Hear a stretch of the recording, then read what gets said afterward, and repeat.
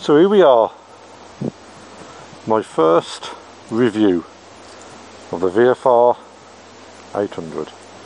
So I bought this baby just over a week ago. It's a 2008 model, 34,000 on the clock, full Honda luggage. So I traded in my 1995 Fireblade and since taking ownership of her we've had quite a few storms so I haven't actually been out on her yet. So, today excuse me then I burped. So today we're going to give her a little ride. I'm not going to give her a good hammering obviously because I've got all the luggage on and it's quite heavy so I'm just going to get a feel for it what it does what she feels like. Absolutely love the bike. The position already is amazing compared to the blade it feels so upright. Um, and I also I might look at having the bar risers fitted so it just gives me an inch and a quarter more on the bars. Uh, but no, I'm very happy with that. I had to get the back tyre done. That was going down. It was leaking round the rim so I had to get that resealed. And also the front forks were leaking.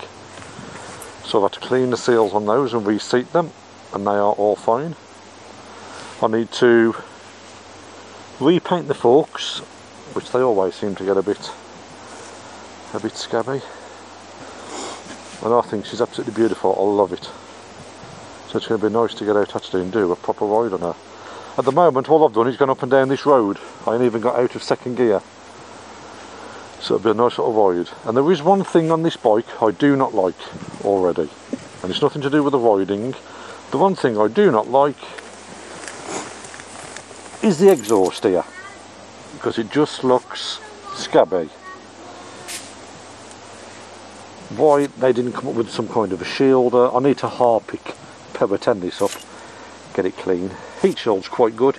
Apparently those are known to rotting so that looks quite newish so whether that's being replaced. But this bit here I think that is ugly. I think something could have been done with that.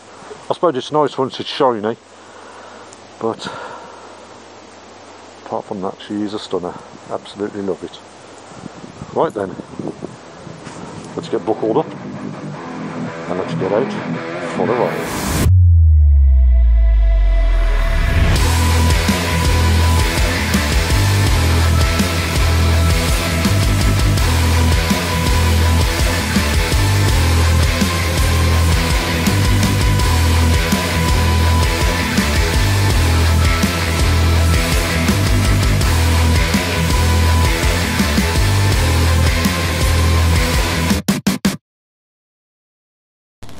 Right then VFR 800 Let's make a move. Let's see what this baby is like. Actually don't feel too heavy, I think it's quite well balanced. Okay then, let's go and get some fuel. Oh! Well that's a massive difference already. I can actually turn. Before on the blade being down here I couldn't turn Oh, that's amazing. Right then, okay. Outside air temperature 2 degrees.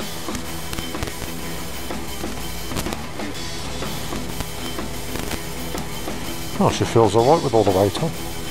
Ah, oh, the position. Oh, the riding position feels amazing.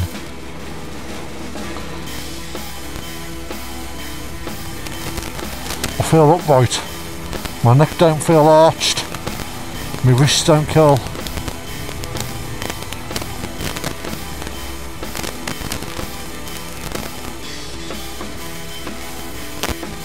I'm loving the sound as well.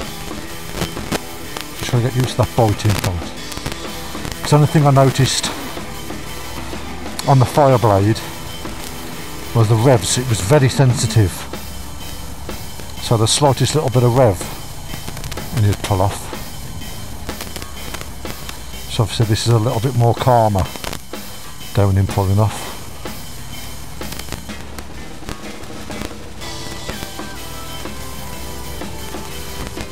Okay.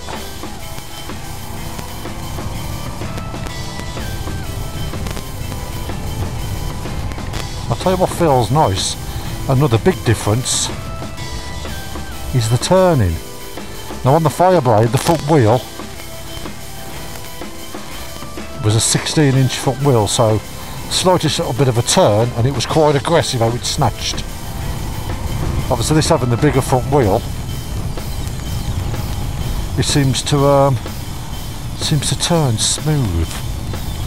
So I suppose I might just take a bit of getting used to that ad when taking some corners.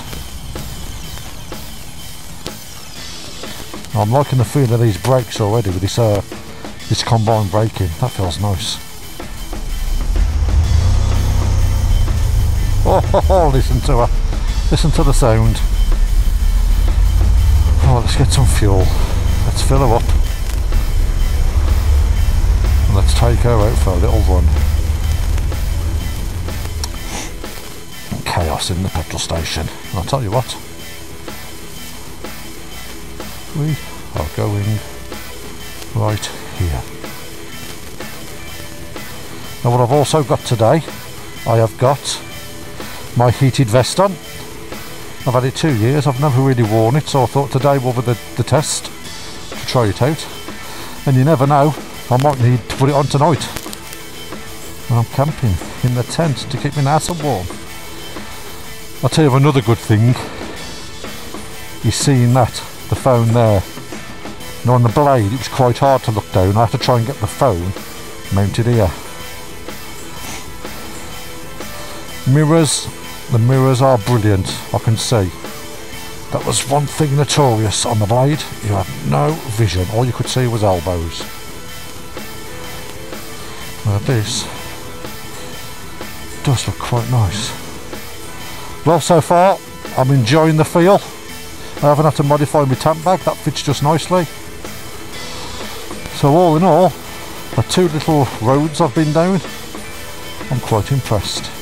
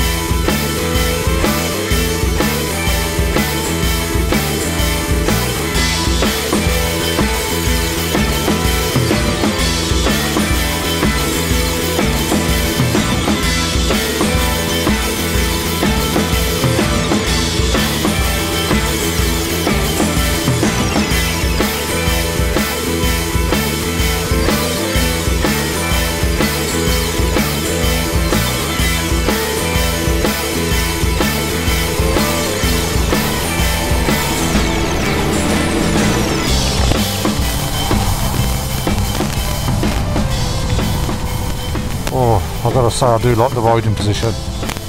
She feels quite torquey. In fact, after that initial pull-off, she does feel more torquey than the Fireblade. But then again, I suppose this bike is 13 years younger, so technology has moved on. Well, let's see what this corner's like.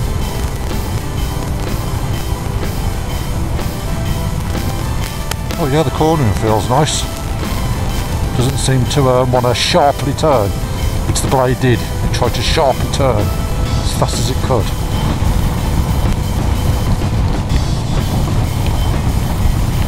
I've not got any buffeting at the minute. I think this is the higher screen the bike's got. I'm not getting any buffeting, I do feel quite protected on my top half. It's a pity the weather's like this today because I mean I can't really stretch her legs a bit. I'm trying to take it a bit careful on new bike wet greasy roads. But I I am definitely impressed. I am definitely come on Craig get your confidence. Stop taking corners at 10 miles an hour. Oh I do like that that you can look over your shoulder. I've never really experienced that much. Yeah I'm getting a bit more feel for that biting point now Still taking a bit easy on the corner so I'll get used to it.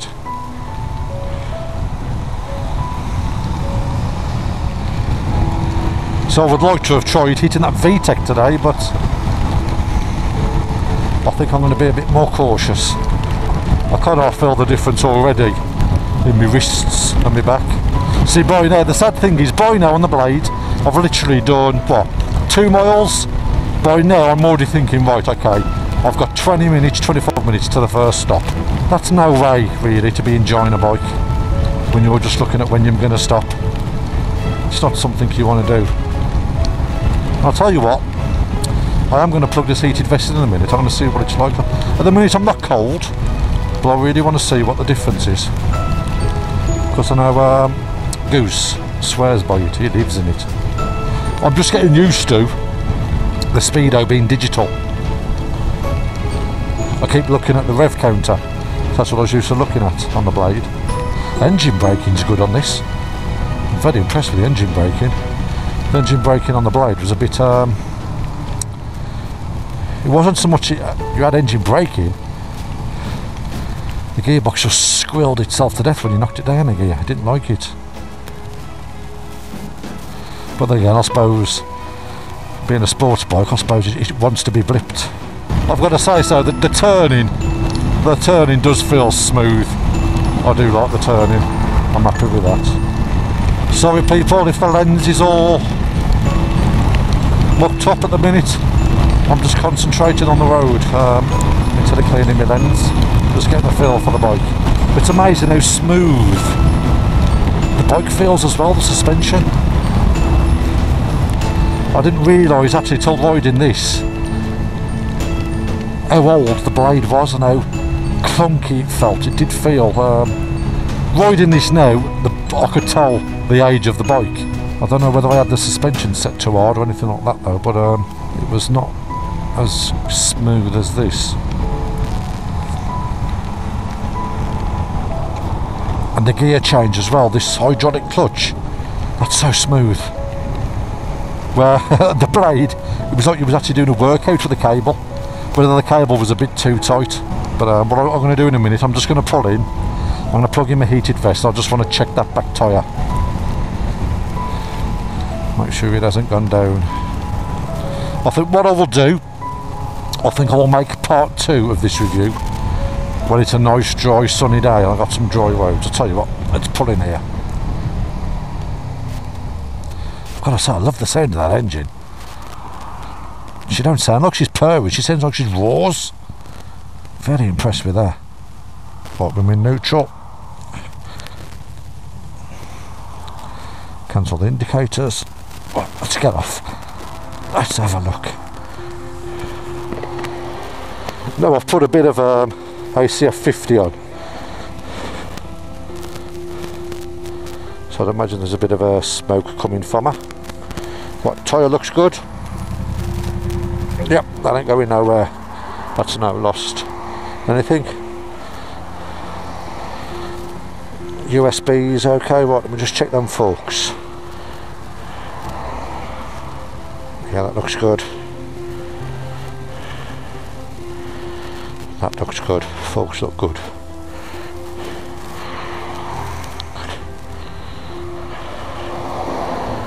Yeah, we are looking good. I tell you what, she's a good look. Look at her. She's a good looking girl. Damn. I better be jealous at when other people look at her. I'm like, don't you be looking at my chick, man. It's in mine. Get your dirty eyes off her. So another thing is, well, it's amazing. I've got everything in those panniers. Tent, airbed, sleeping bag, pillar, kettle, electric heater, hot water bottle, coffee, airbed pump. I mean, what you see in there, I can that I can live. I can live on that bike like that. I've got everything I need to live. Well, I'll tell you what I'm to do. I'm to plug in the heated vest. We'll try that, and I'm also to connect my phone to my Cardo because I did a firmware update and I reset it to factory settings and I lost everything. So let's just get it connected. And I can give Victor a call then. Well, Mr. Vida, Every word you said I believe, mate. She's living up to everything. I am mad insured.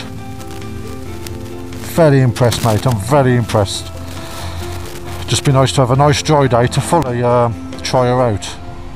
So I definitely think a review part two will have to come. Oh, I've got to say, the turning is amazing. I mean, by now that was all twitchy. And one thing um, I do like, she feels she feels very planted. So I think the extra weight of the bike is paying off. Feels hard, she feels solid on the ground. And I've got to say, considering I've got all this luggage on, I'm not really noticing any, any difference. It's amazing um, the struggle and the battle I had with making a decision to get rid of the blade. And all I seem to be doing now is picking out the faults of the blade compared to this. But I definitely, um, this was definitely the right decision to make, definitely. And as I said, I haven't even been out on a dry road yet. Very happy boy. I am a very happy boy.